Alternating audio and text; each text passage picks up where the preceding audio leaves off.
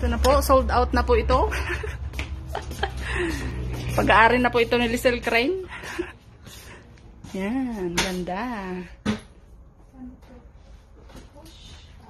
Ipo, ano yun yan? Oh, wow, it's like big. Yan, ang ganda ng refrigerator. May susi pa. So, wag mong nasirain yan. Oh, ba't ito wala? Yan, yan. Oh, maluwang siya, oh. Hmm, yung maraming isda malalagay dito. I can put fishy. No problem. You can save like five dollars for the eye. Oh, Picture natin. Para ang ganda. Oh, the little open. Put pandesal here. Put pandesal. Oh, ito na po yung kanilang, ano ba tawag ito? So, living room. O, kusina. Kitchen and living room. For a kitchen. I don't know if there's a space here. Oh yeah, I can put stuff in like bedding. Punta tayo sa ano dito. Ito yung kwarto ng mga bata. Bunk bed. Kuya. Gusto ko to kasi they have space. Ayan, pwede silang maglagay ng TV. Like They can watch, put TV in here. Toys here. Ayan, may mga damit nila dito, pwedeng ilagay. Oh, ano? Hmm, diba? Ang dami oh. 32 inch TV. Kaya Hmm, yeah, pwede mo lagyan ng ano. mas maganda na ito. Buti na lang ito. Tsaka mas maano oh. Maliwanag.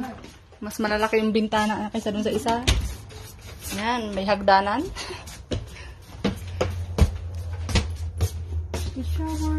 Yan ang shower. And there's the bed. We even have a beddings here. Sayang yung nakaklearan sa Walmart na beddings. di, Oh. Ang maliit na ano. Si Audrey. Oo nga eh, yung sa Walmart na ano natin. Marami ka doon ah. Oh, yan oh. Ganda ng bed. Yan ang master bedroom. There's lots of Pwede ka mag-hanger dalawa. Tig-isa kayong lagayan ng ano. Yep.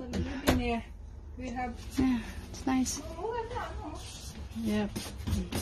Mura daw yan sa kanya. Maraming pera to eh. Mm, yan.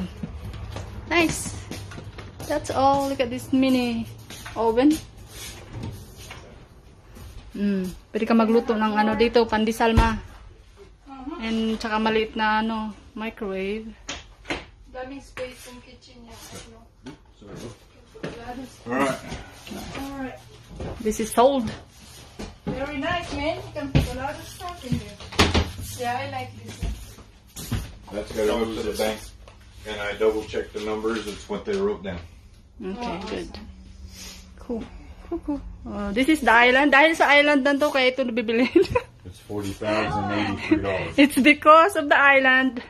There you go. Ah, okay. So 40,000 with 6,000 down payment. Right. Cause that's what Adam said he wanted to put down was six grand. Ah, So, okay, Really, okay. with 6,000, this is gonna be 46,000. Yeah.